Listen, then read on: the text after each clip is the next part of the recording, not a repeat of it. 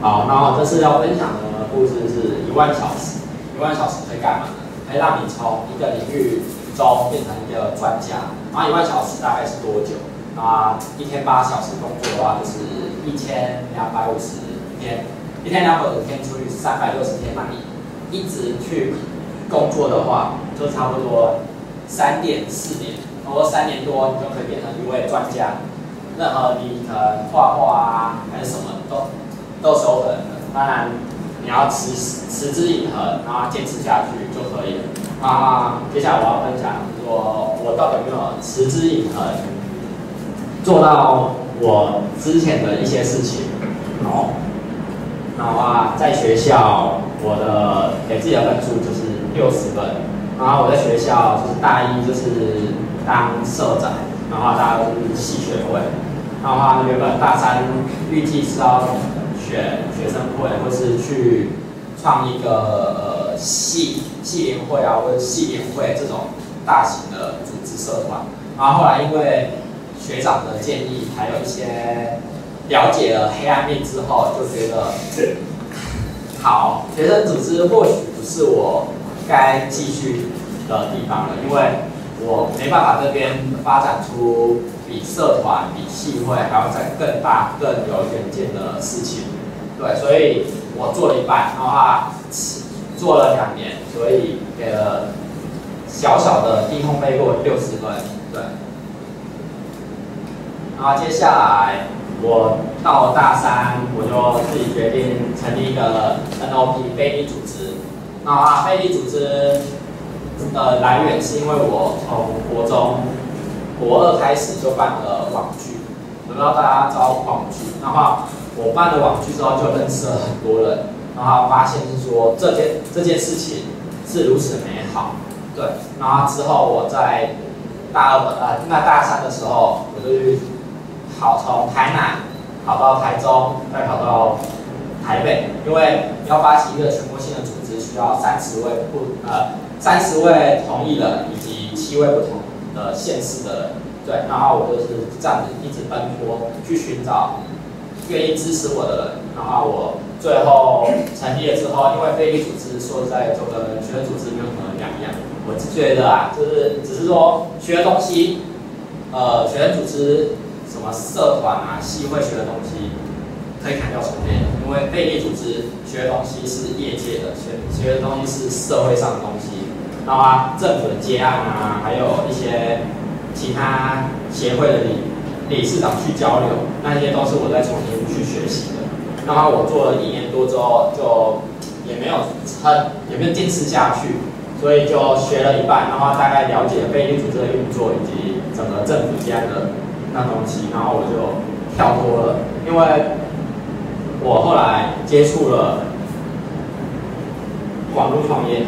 对，因为我我后来喜欢，因为我本身是资讯工程，然后辅系是气管，对，然后我就想要去从事网络创业的地方，就像刚刚的 FB 创业啊，或者是校园创业，这些想法我都跟他想过。然后后来想一想，呃，我在学校成立一个网站，那它的商业模式是什么？我确实可以吸引了几千人进来。重点是没有达到百万级以上的话，广告商是不会想进来的。然后当你要达到百万级的时候，那个钱是烧几百万，对。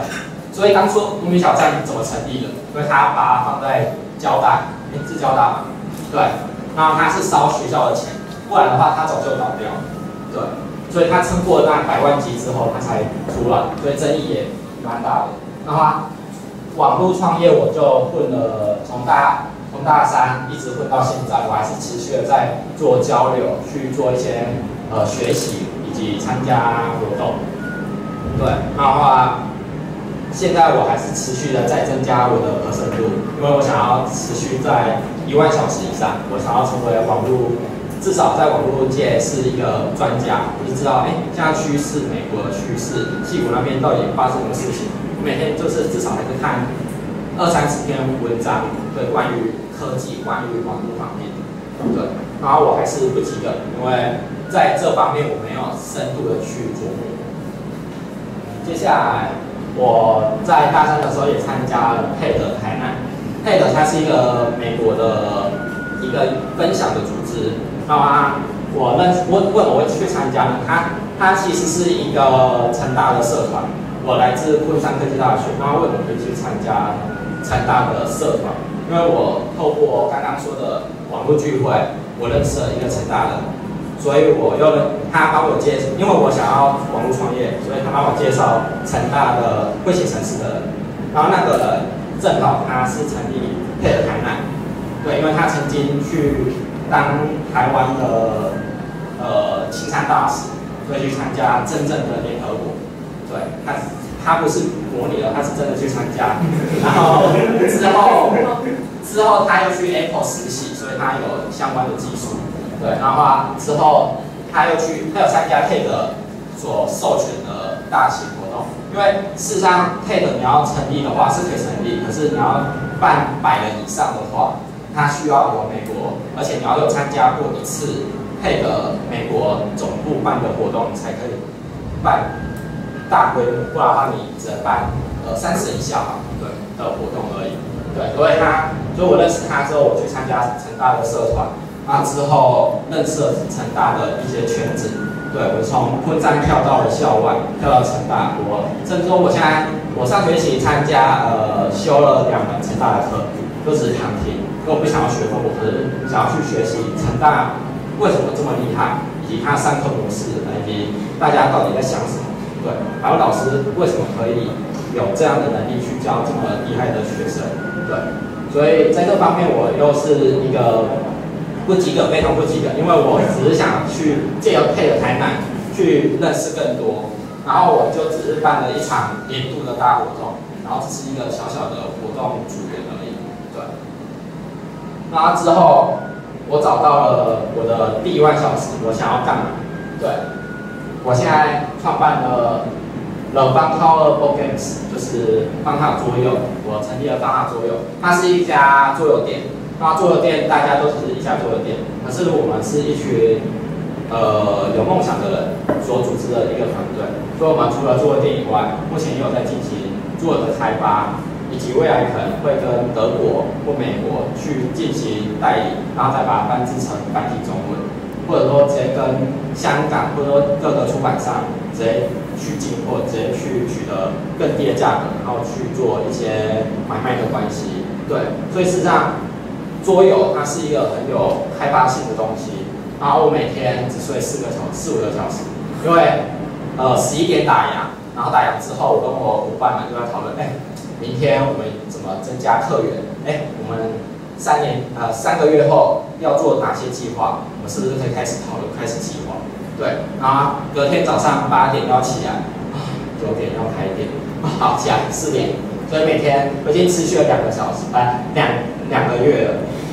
对，所以我找到这一万小时，那大家有没有想要找到你自己的一万小时，自己去坚持下去？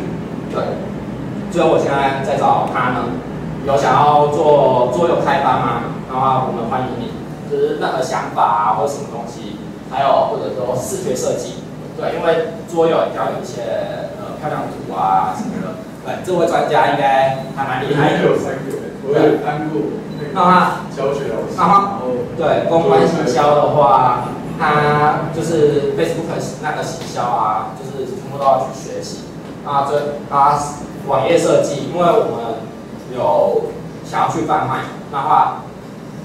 如果只是做拍卖市场的话，那没有一个独特性，所以我们想要有网页工程师来帮我们做一些独特性的网页，以及桌游教学。然后我们想要推广到国小国中跟高中，想要透过桌游去做一些桌游的。我是李开表，我们时间很对，好，好，然后最后一个就是我目前会在我们下学期会在我们学校成立社团，以及成。成大已经有社团，然后台南大学我们也已经找到人去成立社团。啊，有人有想要成立社团的人都可以来找我，然后我们看怎么合作，我们再聊。OK，高一也有。好，谢谢。谢谢。